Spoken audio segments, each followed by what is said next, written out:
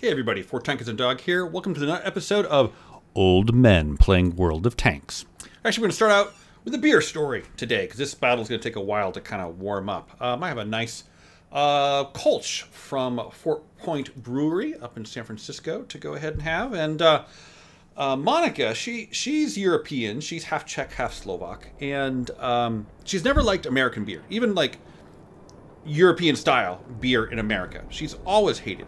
And um, we actually discussed this with this bartender uh, up in Vancouver one time. And actually, he had a great idea. This totally works. Put a pinch of salt in your beer, and it'll totally foam up, and a whole bunch of the CO2 will come out. Because that's kind of her complaint, is that American beers are always CO2 heavy. They always really bite back with that kind of tart carbonic acid kind of um, hit. Whereas in Europe, they're just smoother. And, you know, theories that we had were, you know, just it's different or brewed differently or served at a different temperature or I don't know, various things had never really kind of solved the mystery um, until uh, this last trip. We were actually at this pub that had Pilsner Urquell and we were in this spa town in uh, western Slovakia. And we went to this little pub, and, and they had again they had Pilsner Urquell, and they had a, the had, she had the ability to go ahead and order the beer with different amounts of head.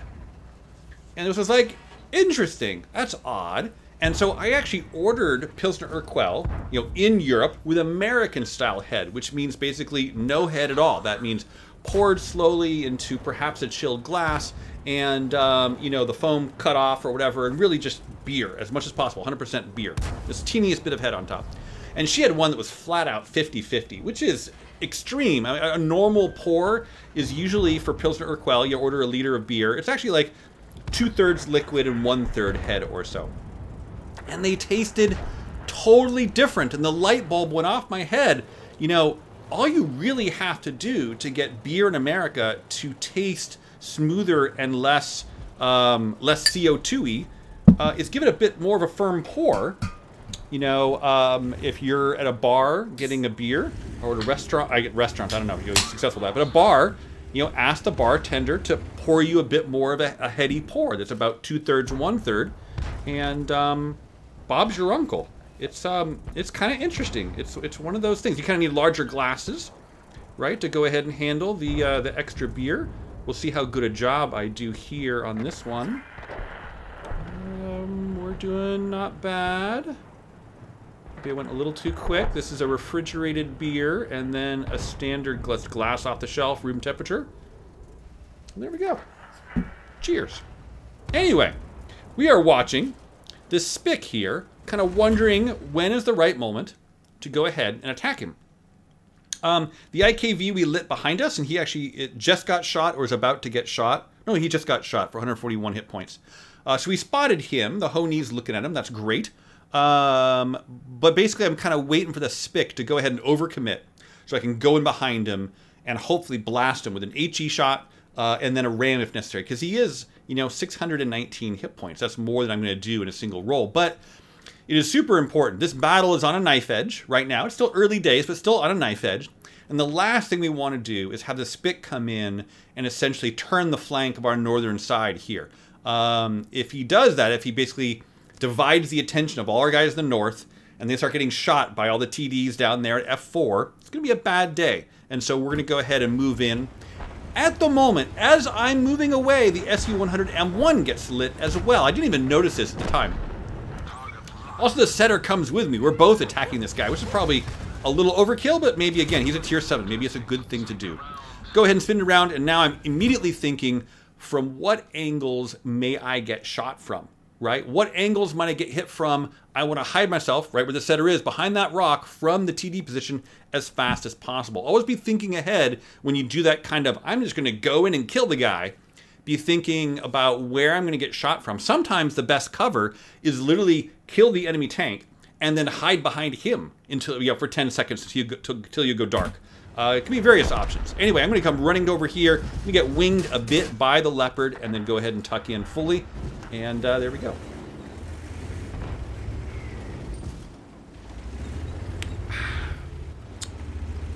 Now the 100M1 just appeared, turning the flank on our heavies. God, this is a couple of times in this battle, I'm going to end up being in the wrong place at the wrong time. Anyway, the setter went back up to the bush pile. He lights them. I'm coming up back around through the cap zone and uh, frack. And also, we're all of a sudden down by four tanks. Uh, three tanks. We're down by three gun barrels. The heavy zone is in a lot of trouble. Um, you know, don't throw good money after bad, but you need to farm the damage and support your team while you can. Um, initially, I was kind of thinking maybe fully defend, like go up the A row, but I decided no, we've got enough tanks here. I'm going to go ahead and come in uh, and see if I can go ahead and help these folks out. It seems to be the 100M1, who is now dead, and the FL10, and that's all that's there. Looking on the uh, list of tanks on each team, uh, there is a mystery AT8 somewhere. Um, that's a little concerning, and um, but nonetheless, basically what I'm thinking here is I'm going to go low, hopefully not be lit, and go and flank in behind this FL10 and put a nice meaty heat round into his ass while he's distracted looking at the Covenanter and the 25 AT. And I hope the AT8 is not mysteriously down here with him. Moving in, moving in, moving in, moving in. There he is. Oh, he pulled forward. I, I expected him to fall back. Spin it around here. He seems to not notice I'm even there. So I'm going to go ahead and lock on the auto aim. The FL10's clip goes ahead and kills off the T25AT. I just auto aim a shot. It does track him, and he seems to have no repair kit left at the moment. It's on cooldown maybe. So we'll aim in right under his turret, and we'll go ahead and finish him off. 10 to 9. Hit points are almost balanced. Our guys in the north finally get their asses in gear, um, and they're attacking, but we'll see how that goes. We feel like, well, we just lost somebody. We lost the Chi Nu. You know, when you win a flank, you really gotta stop and think, do I want to just charge in? Right? Because oftentimes the contact point, in this case the heavy zone where we were, or again the medium tank zone up in the north, that position where you can brawl is separated from the cap zones by kill zones for TDs that are camping. And so once you win your zone, you're you're full of bloodlust and you're just like, booyah! You gotta be really careful to not just then burn all your advantage, all your energy charging towards the enemy and walk into a trap. There's the grill, let's zoom it in. He clearly has sixth sense because he gets moving immediately. There's the AT8, he is in the middle and we just lost the setter as well. So now we're down by a thousand hit points and a gun barrel again. The Covenanter goes YOLOing in against the grill and seems oblivious to this AT8 coming up behind him. Now he totally gives me his side. That is great. Let's go ahead and see where we can fit a heat round. Only 50-50 chances against the hull, so we'll aim for his uh, the wedding cake on top. We put it in, but he really did not appreciate that at all, and he's coming towards us. Now, here's the question. I can't kill him with one shot. So while I could have tried to aim again for the cupola and kill him, again, that's not going to work. So I'm going to hold my shot and go for the track. Track him in place, and now try to accelerate around him. He does burn his repair kit. Uh, a shot from Beef there missed. I get around the side of him. I go ahead and line up a heat round on his ass. It doesn't penetrate. Uh, arty misses me, and now let's get the hell out of here because um, that is a world of trouble. So now we are down by two gun barrels. The AT-8 appears to be coming towards me. Beef just missed another shot on the AT-8. Alright, this chess match is like the momentum is switching back and forth, right? We were on the defensive, then we were on the attack, and now we're definitely switching to defensive again.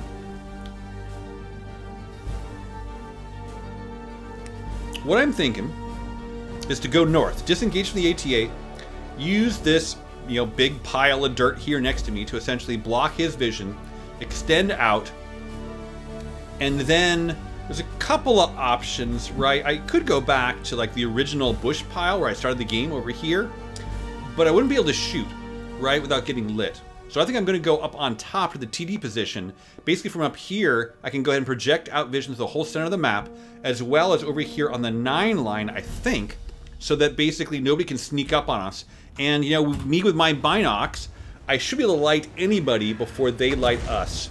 Um, even the leopard, right? If the leopard has got optics or whatever, if he's in motion attacking us, um, I'll still have more view power with my binoculars. Vice versa, if he has binoculars in motion, he won't have them active, right? So we should be in good shape. That being said, Beef and I are a little distant from each other, so it's a little hard to support each other here. Um, we can kind of shoot what each other are looking at, um, but it's not, you know, the, there is a lot of terrain between us. Um, but it's very important to try to not necessarily be in the same positions, but be prepared to shoot at things the other person is being shot by, right? You gotta be able to support each other. Bishop's up. We go ahead and reload over to HE from Heat. Beef gets a shot in. My shot goes into his tracks. Beef has a leopard behind. I tell him, ignore the bishop. Turn your armor around, worry about the leopard. I'll finish the bishop. There he goes. Now, um, let's spin it around. We have to help out Beef as soon as possible. That leopard is full hit points. And while his machine gun is likely to bounce significantly off Beef's armor, um, it's, you know, Beef doesn't have much left. He's got 106 hit points left. But the leopard spots the arty. And I gotta say, some people in World of Tanks, they just go crazy when they see an arty. They will do anything to kill it. Um, it's kind of, uh, ignore it. Kill the things that can kill you first. So I go ahead and line up here a shot, wait for him to peek out. I miss. Again, the Leopard's like auto-aimed on the SU-122. He, he gets a shot into him. Beef gets a shot into him. And now I get to finish him off. A full hit point Leopard just completely wasted on trying to and failing kill our Arty. Um, that was a really, really bad misplay. So, the ball game is all tied up. Um, 12 to 12. We are down by 91 hit points. It's basically tied. We're going to do the same thing again. We're going to go right back up again. We still have a lot of time left. The game's about half over. So again, we're going to put up our binocs, and we're going to give it a little time to see if someone's going to make a mistake. We don't really need to push yet. If we need to push, either Beef or I will... I'll probably join him, because the, the, the kill zone in the south is brutal. It'd be much easier to leapfrog each other and come in down the 1-2 line. But, again, with no rush, we got lots of time, and the AT-8 goes ahead and drives into the middle of the map to go ahead and get shot. So Beef is shooting at him, AT-8's facing him, that's not going to do anything, right? I go ahead and get some damage. Now I can wear him down eventually, as long as I don't let myself get artied. I'm going to keep him lit, but one of the problems of the moment is that Beef and I are shooting him from kind of the same angle. I'm going to take one more shot. Let's go ahead and line it up. And then I'm going to work around behind him. Again, we back down behind the rock. We're looking for arty cover. We're waiting to go dark. And then we're going to go ahead and flex around behind him to basically challenge him. the beef is shooting HE now. He did 27 damage. We want to basically force the AT-8 to face one of us or the other. The AT-8 does just kill our arty because he's just... I don't know what the hell the arty was thinking. That was weird. Alright, so we're moving around behind him. We can peek out behind this rock, right? We should be already, already cover. We don't know where the Honi 3 is. If he's up there at B3, he could give me a wallop, actually, which would be not cool, but you gotta work with what you can see. Ah, that snapshot misses, which really sucks, but again, he turns towards me, so now Beef can tag him in the rear nicely. He is down to a one-shot. Beef puts an HE again into his rear. We're looking for a peek. He HEs me for H-teen, which is pretty bizarre.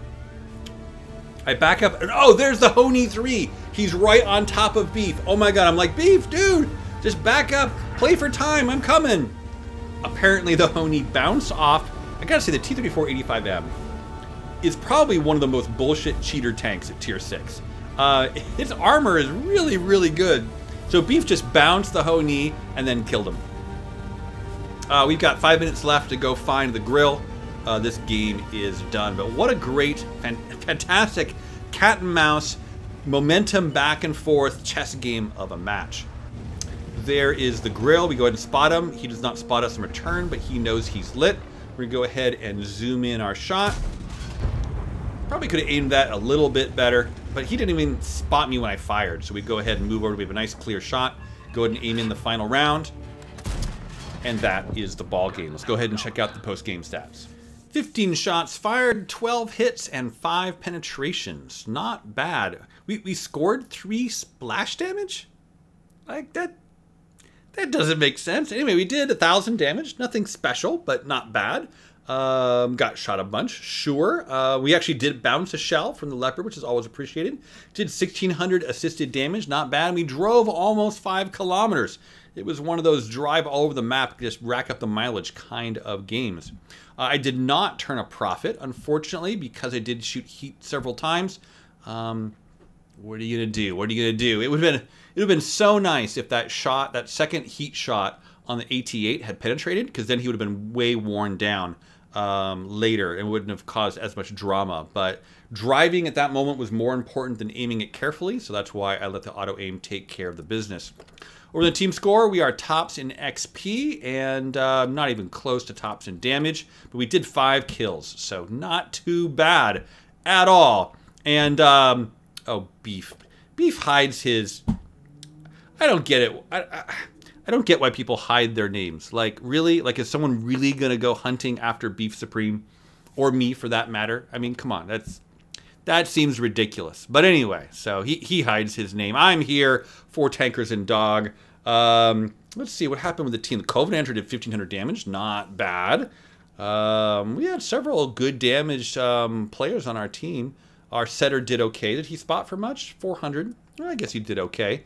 Um, the arty did 500. Not great. Grill did zero. The enemy team Panzer 43 Bis did good. The uh, FL10 did not so shabby. Um, the Bishop did 1117. That bastard.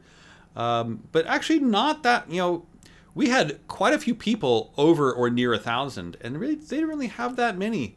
Interesting. I wonder if we had a, like a hit point deficit to start, or something like that, because it was close. It's not like we had a whole bunch of hit points in the table at the end of the game. I mean, that was good enough for a first class with a fighter, a spotter, a duelist, a fire for effect, a Pascucci's, and a organic Brothers in Arms. Although just two players because Brother Thelonious couldn't join us this time, but so it goes. Not a bad battle at all. Thank you for watching. Please like, please subscribe, all that kind of good stuff. Nastravi, and take care.